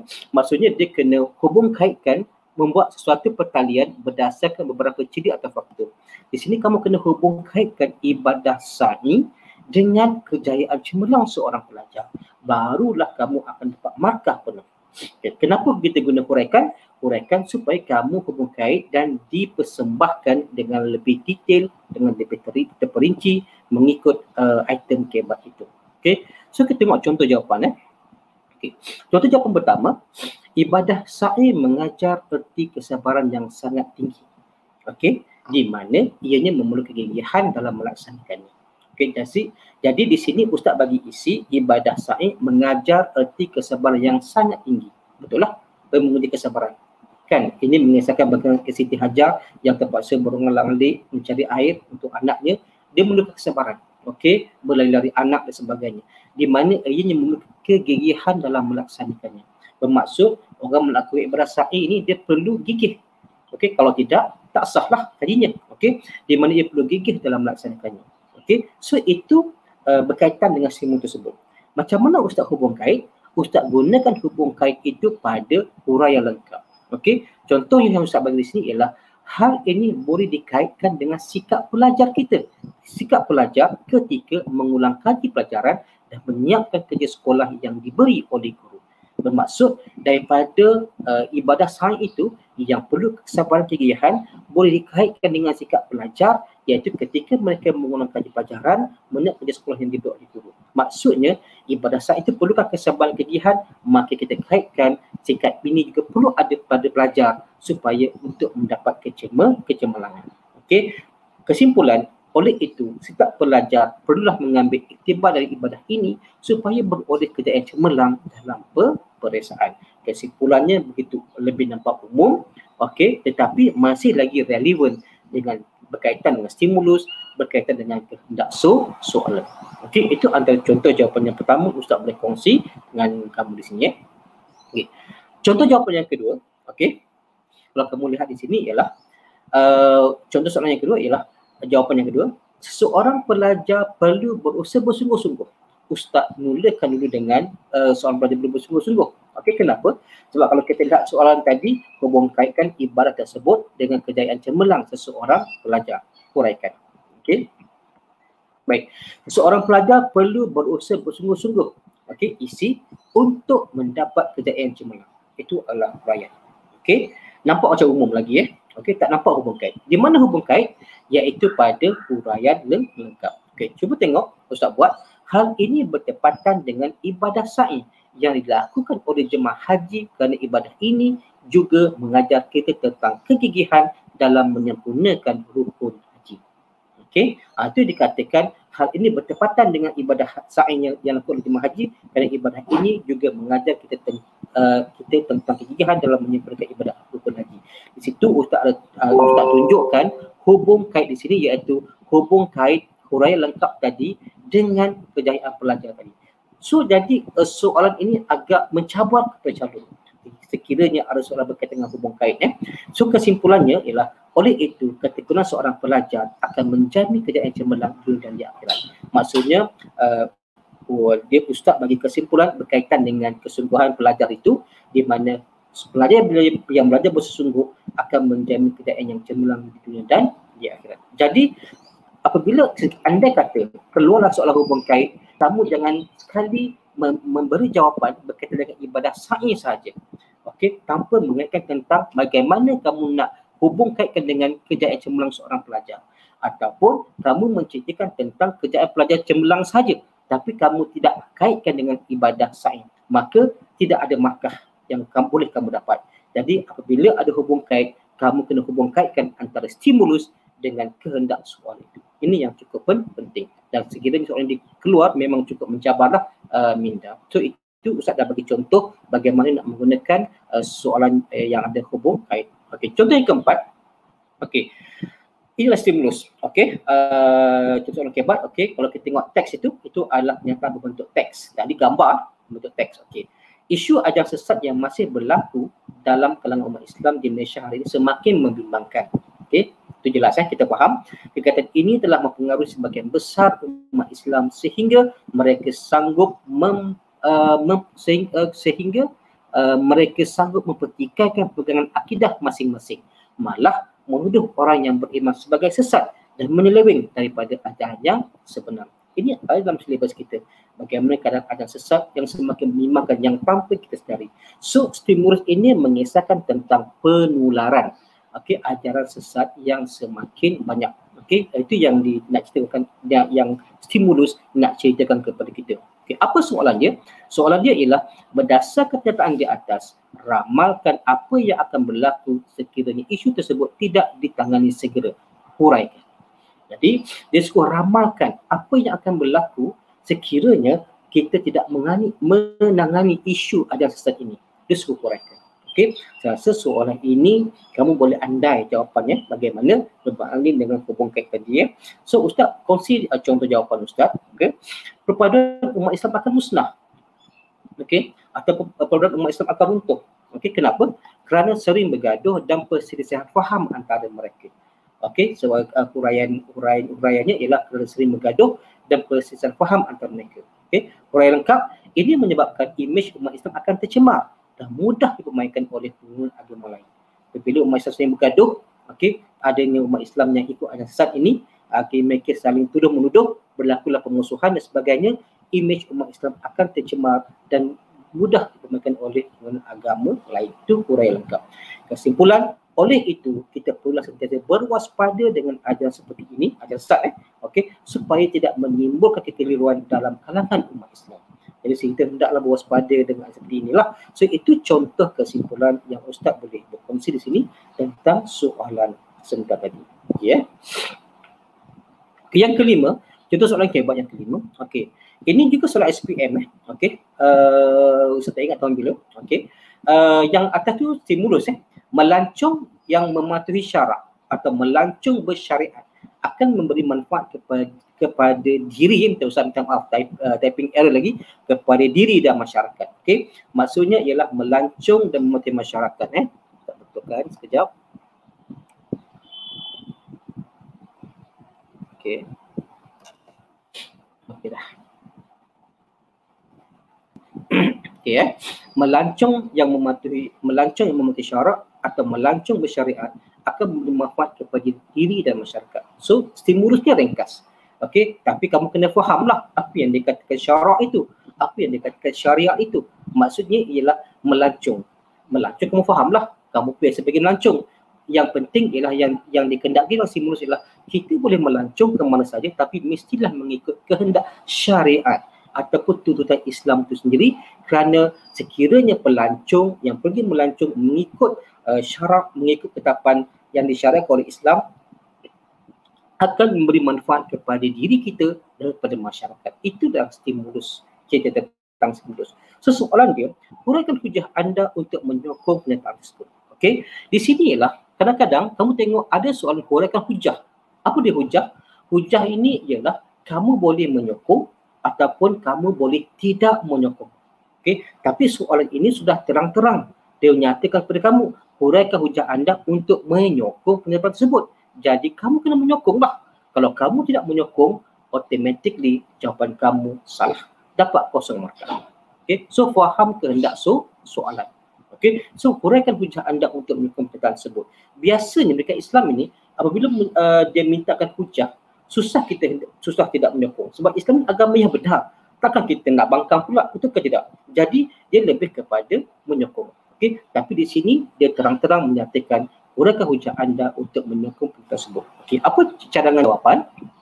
Okay. Islam amat menggalakkan umatnya melancong. Betul lah. Islam memang mengelak umat melancong kerana dapat melihat kehebatan ciptaan Allah SWT di muka bumi ini. Okey, memang Islam menggalak kita melancong, itu ada Quran. Ini kerana, okey, ini Quran lengkap eh, uh, penanda wacana, ini kerana melancong dengan tujuan yang, tujuan yang baik bukan sahaja mendapat manfaat. Kita pergi melancong dengan niat yang baik untuk melihat keindahan negara lain dan sebagainya. Nak merasa salji di negara Eropah dan sebagainya tak salah. Nak pergi ke Korea sebagai tak ada masalah dan sebagainya. Okay. dan pengalaman uh, ini kerana uh, melancong dengan tujuan yang baik bukan saja mendapat manfaat dan pengalaman malah mendapat ganjaran pahala daripada Allah SWT iaitu kita pergi melancong menziar dengan niat yang baik untuk uh, menikmati keindahan uh, ciptaan Allah untuk kita melihat kebesaran Allah malah kita bukan saja mendapat pengalaman mendapat uh, seronok melancong itu malah kita diberikan jaran pa, pahala sebab kita melihat kepada Allah dan bersyukur dengan nikmat yang Allah beri kepada kita dan kesimpulan oleh itu kita hendaklah melakukan sesuatu sesuai dengan syariat Islam supaya kehidupan kita diridhai oleh Allah SWT. Jadi di sini kesimpulan ialah oleh itu kita tidak melakukan sesuatu sesuai dengan syariat. Sesuatu itu maksudnya lebih umum. Okey, termasuk ada melancong itu dengan syariat Islam uh, supaya kehidupan kita diridhai oleh Allah SWT. Okey, bermaksud sesuatu itu di mana-mana sajalah supaya kita kita diridai oleh Allah Subhanahu Wa Taala. Okey. Ini pula contoh soalan kebat yang keenam eh. Okey. Okey, ini adalah okay. cuba tengok stimulus dia. Okey. Ada yang mengatakan antara sebab berlakunya perceraian dalam kalangan umat Islam di negara ini ialah kerana faktor gaji yang rendah si suami kesannya si isteri dan anak-anak tidak memperoleh kehidupan sebagaimana yang mereka harapkan. Ha, ada yang mengatakan uh, kenapa berlakunya perceraian. Kamu kan sudah belajar kan bab kahwinan. Okey, bab perceraian dan sebagainya kan dan sebagainya. Jadi uh, dia mengat- dalam isu ini, dalam simulus ini dia mengatakan faktor perceraian yang berlaku yang banyak berlaku dalam Islam di Indonesia ialah kerana faktor gaji rendah. Ini andaian eh sebab dia menggunakan ada yang mengatakan bukan berita yang di uh, yang dibuat kajian dan sebagainya kalau ataupun bukan laporan berita kalau laporan berita mesti di bawah tu akan tulis sumber daripada mana BH online dan sebagainya ya. Jadi anda yang saja okey. Kesannya si isi dan anak-anak tidak memperoleh kehidupan sebagaimana yang mereka harapkan. Itu adalah stimulus. Dia menggambarkan faktor perceraian menyebabkan uh, faktor perceraian uh, suami isteri itu adalah faktor gaji yang rendah. Okay. Soalan dia, huraikan hujah anda terhadap pernyataan di atas. Okey, yang tadi mengatakan huraikan hujah anda untuk menyokong pernyataan di atas. Terang-terang dia kata sokong. Yang ni huraikan hujah anda terhadap pernyataan di atas. Okey, soalan ini kalau kita lihat lebih terbuka bermain dengan soalan hujah yang pertama tadi. Kenapa Ustaz kata terbuka? Sebab stimulus yang diberi itu agak terbuka dia bukan stimulus yang berbentuk kot'i yang tetap. Okey, contohnya Islam melarang mencuri dan sebagainya. Mestilah kita kena menyokong uh, melarang mencuri, tapi kita tak menyokong, betul ke tidak? Tapi di sini stimulusnya lebih bersifat terbuka, iaitu dia kata ada yang mengatakan faktor perceraian disebabkan faktor gaji. So soalan dia kata, huraikan hujah anda terhadap pernyataan di atas. Okay, cuba tengok contoh jawapan. Okay, jawapan yang pertama, seseorang suami perlu memastikan tanggungjawabnya mencari pendapatan atau nafkah. Okey, itu itu tugas seorang suami. Okey, perlu memastikan tanggungjawabnya mencari pendapatan atau nafkah untuk menyara ahli keluarganya. Okey, ini kerana pendapatan yang mencukupi dapat menjamin kebahagiaan dalam sesebuah keluarga. Maksudnya ialah apabila pendapatan yang mencukupi uh, dapat menjamin kebahagiaan dalam sebuah keluarga. Kerana sebab apa? Sebab suami sudah berusaha. Okay, dan suami sudah berikhtiar dan sebagainya. Okay. Kesimpulannya, seseorang suami yang baik akan sentiasa berusaha nafkah keluarganya dalam apa cara sekalipun. Ha, ini cadangan jawapan Ustaz. Okay. Mungkin kamu ada jawapan yang lain, jawapan yang lain yang lebih baik dan sebagainya. Bolehlah kamu share nanti ya bila-bila dan sebagainya. Okay. Jadi seseorang suami perlu memastikan tanggungjawab. Di sini kalau kita lihat dia seolah uh, menyokong menyokong pada simulus ini. Bermaksud disebabkan gaji rendah banyak berlaku perceraian. Jadi dia kata mengatakan seorang suami perlu pastikan tanggungjawab. Bermaksud uh, apa faktor gaji rendah? Suami tak ikhtiar. Okey, uh, mengharapkan satu sumber pendapatan. Sebab gajinya rendah. Sebagai suami sebagai ketua keluarga kena ikhtiar. Okey? Untuk memastikan kelengkapan yang asas itu yang penting. Okey? Uh, itu yang sebenarnya. Seolah dia macam menyokong semua itu. Okey? Jadi ini kerana pendapatan yang mencukupi dapat men- menjamin kebahagiaan dalam sebuah keluarga. Ialah kalau katakan beras tak ada kan gula tak ada macam mana lah dalam satu keluarga nak makan dan sebagainya. Betul ke tidak? Okey? Jadi kesimpulannya seseorang suami yang baik akan sentiasa berusaha menafkah keluarganya dalam apa saja sekalipun sebab kalau kita berusaha macam mana sekalipun dengan niat yang baik insya-Allah Allah akan bagi rezeki. Okey kepada soal kepada sesiapa kepada suami untuk uh, memberi nafkah kepada keluarganya. Ini contoh jawapan pertama. Kalau kita lihat di sini jawapan ini macam menyokong cuba kita lihat contoh jawapan kedua Okey. Ini contoh jawapan kedua, pernyataan dia tidak benar. Seolah-olah dia macam tidak setuju dengan stimulus. Jadi kenapa Ustaz bagi contoh jawapan begini? Sebab stimulus tadi bersifat terbuka. Okey, terbuka terbuka. Bermaksud kita, sebab hujah ini ialah kita boleh menerima atau menolak. Okey, sama ada kita menerima, kita akan bagi hujah. Kalau, kalau kita menolak, kita akan bagi hujah. Kenapa? So, pernyataan tidak benar sama sekali. Okey, ada tak setuju. Kenapa? Kerana kebahagiaan rumah tangga bukan bergantung kepada faktor gaji yang rendah. Ha, ini pemahaman dia begini. Okay? Jadi kerana kebahagiaan rumah tangga bukan bergantung pada faktor gaji yang rendah. Huraian lengkap, ini kerana kebahagiaan rumah tangga bergantung kepada persefahaman dan keredaan Allah. Keredaan semata-mata, keredaan suami isteri. Keredaan semata-mata. Ha, dia bagi huraian macam ini. Sebab kebahagiaan, uh, kebahagiaan rumah tangga bukan bergantung faktor dia rendah.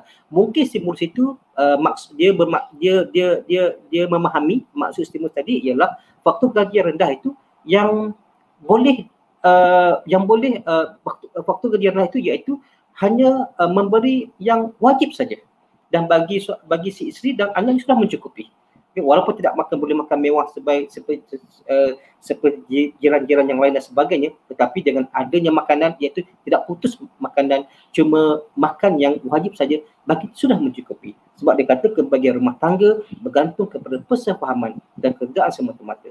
Kesimpulannya seseorang suami perlu melaksanakan tanggungjawab sebaik mungkin agar kedudukan rumah tangganya terjamin. Ini cadangan kepada cadangan kepada walau cadangannya eh, kita berbicara pada uh, soal jawapan ini iaitu seorang suami perlu melaksanakan tanggungjawabnya sebaik mungkin okey supaya untuk menjaga kerukunan rumah tangga okey jadi itu antara contoh jawapan uh, yang ustaz boleh bagi dua keadaan apabila soalan hujah okey tapi ke, setakat ini yang ustaz tengok soalan uh, dalam fikir Islam lebih kepada menyokong pada stimulus, menyokong pada pernyataan. Okey, tapi kalau dalam subjek lain dia uh, boleh hujah uh, menyokong atau tidak menyokong. Terpulang kepada jawapan yang perlu yang nak kita bagi eh. Okey. So ini perbezaan soalan KPKK dan juga soalan kebat. Okay. So apa beza dia soalan KPKK? KPKK adalah kemahiran berfikir kritis dan uh, kreatif dan kritisan. Okay. So kebat adalah kemahiran berfikir aras tinggi. Okay. Soalan dalam soalan peperiksaan uh, kelas satu, kelas dua yang kamu sudah didedahkan sebelum ini ada soalan KBKK, ada respon terhad, ada respon terbuka uh, dan juga soalan kebat. Okey. Jadi dalam KBKK ni respon terbuka tapi ada kuantiti jawapan. Biasanya soalan KBKK ni dia lebih bersifat terbuka, dia bersifat terbuka tapi dia dia ada kuantiti jawapan. Maksudnya dia perlukan bilangan jawapan ditetapkan dalam soalan tersebut. Contohnya jelaskan jelaskan dua hikmah ibadah tawaf dan sebagainya. Itu dikatakan dia kuantiti jawapan itu. Okey.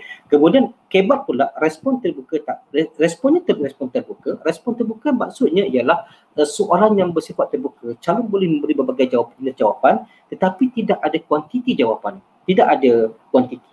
Bermaksud dia boleh me, me, dia boleh menjawab kerana dia boleh uh, calon ini nak menguji kefahaman dia dan dia boleh menjawab apa yang dirasa perlu untuk jawab yang sesuai dengan apa yang dia faham dan sesuai dengan kehendak simulus dan juga soalan. Okey. Yang kedua, kata tugas yang digunakan seperti jelaskan, terangkan. Biasanya KPKK dia banyak gunakan pada jelaskan, terangkan. Okey. Dan sebagainya. Okey. Dalam kebat, kata tugas yang digunakan seperti huraikan iaitu menghuraikan hujah, menghuraikan cadangan, menghuraikan pendapat dan menghuraikan ra ramalan. Okey. Kemudian markah yang diberi dalam KBKK biasanya dua markah ataupun empat markah bergantung kepada uh, soalan dan juga uh, kuantiti soalan dan markah. Tapi soalan kebat, markah yang dibesar setakat ini empat markah. Belum ada lagi kebat dua markah dan belum ada lagi kebat enam markah. InsyaAllah Ustaz percaya pada tahun ini pun mungkin empat markah. InsyaAllah. Setakat inilah insyaAllah. Kemudian jawab KBKK, jawapan boleh jawab dalam bentuk poin yang mengandungi isi dan huraian. Untuk KBKK kita boleh bentuk lanjut uh, dalam bentuk poin. Kita tulis satu roman, dua roman, tiga roman tapi mengikut kata tugas. Contoh, contoh jelaskan. Jelaskan calon perlu memberi jawapan yang lengkap. Okey, sebelum ini dah didedahkan oleh uh, ustaz-ustazah sebelum ini dalam seminar teknik SPM baru ni dan juga uh, kalau terangkan dia perlu kepada isi dan huraian. Berbeza dengan kebat, jawapan yang di, jawapan yang dijawab di dalam dalam bentuk esei. Maksudnya mesti dalam bentuk esei yang pendek. Okey, uh, yang mengandung isi, huraian, lengkap dan kesimpulan elakkan, Ustaz highlight kat situ, elakkan jawab dalam bentuk poin. Okey, elakkan jawab dalam bentuk poin sebab Ustaz bimbang tidak diterima oleh pemeriksa. Okey, bila tidak, bila tidak diterima pemeriksa, dia kira poin pertama saja sebagai isi, poin kedua, tiga, empat tak diterima sebagai huraian, tak diterima sebagai huraian lengkap, tak diterima sebagai kesimpulan, kamu dapat satu markah saja. Okay. Jadi pastikan apabila kamu menjawab soalan kebat, jawab dalam bentuk esei, jawab dalam bentuk esei yang ringkas, esei yang pendek lah. Okay. Dan KBKK pemarkahan secara analitik. Contohnya uh, dalam satu jawapan mesti ada isi dan huraian.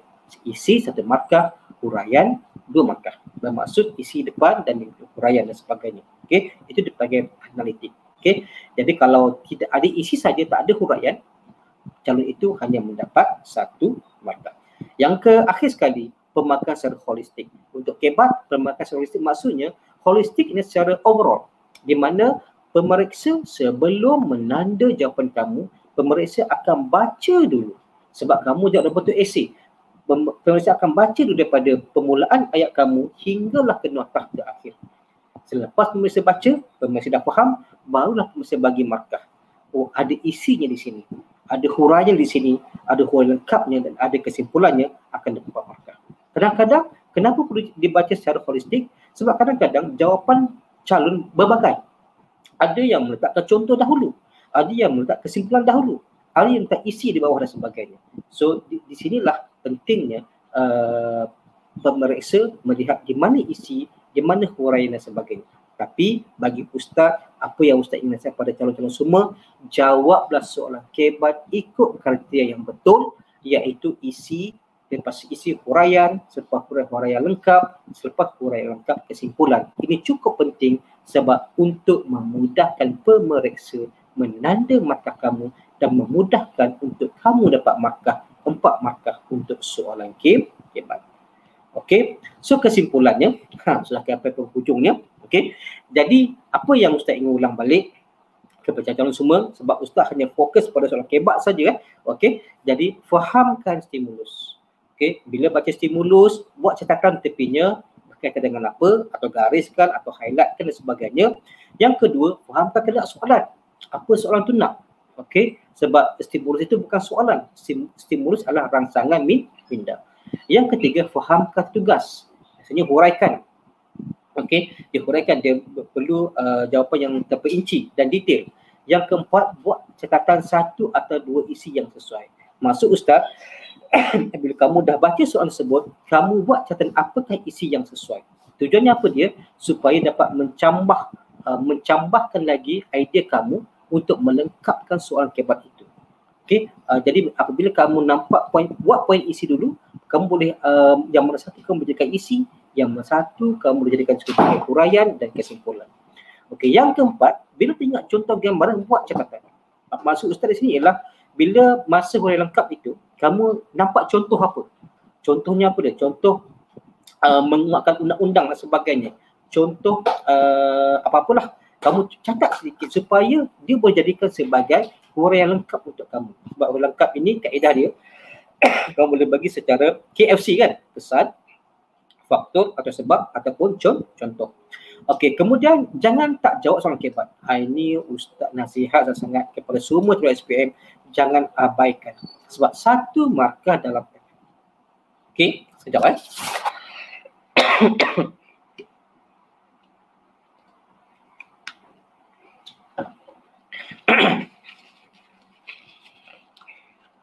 Okey, uh, satu markah dalam tangan. Okey, kemudian soalan kebat tidak ada kuantiti jawapan maksudnya tidak ada bilangan jawapan. Dia perlukan satu jawapan. Di mana satu itu? Satu jawapan pada isi, satu jawapan pada huraian, satu jawapan pada huraian lengkap, satu jawapan pada kesimpulan. Okey, itu saja. Okey. Kemudian soalan kebat bersifat respon terbuka.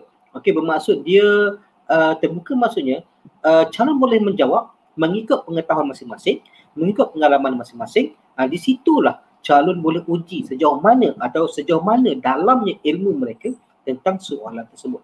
Okey. Kemudian uh, soalan kebat menguji kefahaman dan pengetahuan calon melalui kaedah transfer, problem solving, pemikiran kritis yang Ustaz terangkan tadi. Iaitu menguji sejauh mana kamu dah tahu dah kamu dah faham. Okey, bagaimana kamu dah menguasai sesuatu tajuk, sesuatu, sesuatu silibus, bagaimana kamu nak pindahkan transfer pada soalan kebat ataupun kamu dapat uh, membuat satu penyelesaian masalah problem solving terhadap soalan keyboard yang diberi dan memberi pemikiran pemikiran kritis atau critical thinking uh, dalam menjawab soalan kebat. So itu antara kesimpulan overall berkaitan dengan soalan kebat yang Ustaz ingin kongsikan sini. Jadi itu saja. Sekian terima kasih. Uh. Setakat ini saja yang Ustaz berkongsi dengan anda semua. So itu yang Ustaz serahkan kepada uh, pengongsi majlis. Sekian bila taufiq wal hidayah. Wassalamualaikum warahmatullahi wabarakatuh.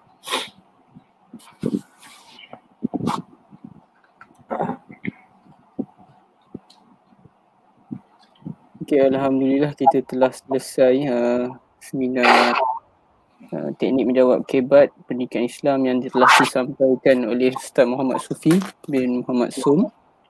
Ya, terima kasih Al-Fadil Ustaz atas pengisian ilmu tersebut. Uh, mungkin kita boleh buka sisi soal jawab kalau ada anak murid nak tanya soalan boleh tanya soalan di ruangan chat beri saya beri ruang masa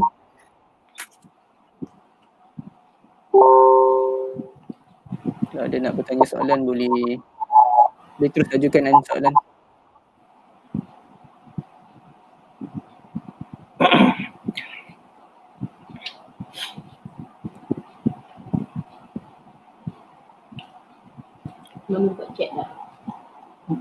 Ya, Ustaz ada soalan daripada Rashid Riza. Soalan jawapan nak tulis kibat sama dengan subjek sejarah ke? Macam mana dia? Okey. Um, tentang sejarah Ustaz tak pasti tetapi apa yang Ustaz terang tadi hanya untuk subjek pendidikan Islam saja. Jadi uh, itu saja sebenarnya uh, kira-kira uh, soalan kebat tersebut. Jadi uh, kan, andai kata sama dengan pendidikan Islam mungkin samalah dan untuk dapat maklumat lebih jelas kamu kena tanya dengan guru sejarah bagaimana kriteria kebat uh, untuk subjek sejarah. Wallahualam. uh, mungkin tasawur Islam dengan pendidikan Islam lebih kurang sama uh, cara menjawab kebatnya. Okey. Kalau sejarah uh, macam? Uh, ya, yeah. saya tas, kena faham tasawur hmm. dengan pendidikan Islam walaupun berkaitan dengan Islam hmm. tetapi uh, silibusnya berbeza, uh, hmm. soalannya berbeza uh, dan panel berbeza. Jadi saya tidak berani mengatakan tasawur sama dengan pendidikan Islam. Jadi hmm. sekiranya ada calon yang ambil subjek tasawur ikutlah cara guru tasawuf menerangkan bagaimana menjawab soalan kebat itu. Okey ya, apa-apa pun kembali kepada apa yang guru ajarkan. Okey. Okay, jangan kita kita ikut eh, ilmu sendiri pula. Okay, ada soalan lain?